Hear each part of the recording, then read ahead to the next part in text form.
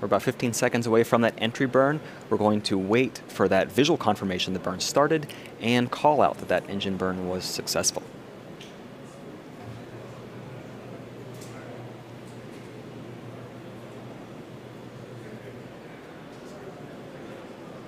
this morning at 8:16 a.m. Eastern Time. Our first stage successfully separated from the second stage, but unfortunately, we did get confirmation that we were not able to land that first stage today. We are obviously disappointed, but our primary mission on second stage is still on target to drop our Starlink satellites to their deployment orbit.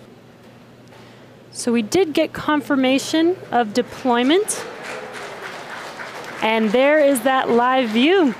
So you can see on your screen the satellites are slowly separating, away from the second stage, and over the next few weeks they will distance themselves from each other and eventually use their onboard ion thrusters to make their way to their final orbit.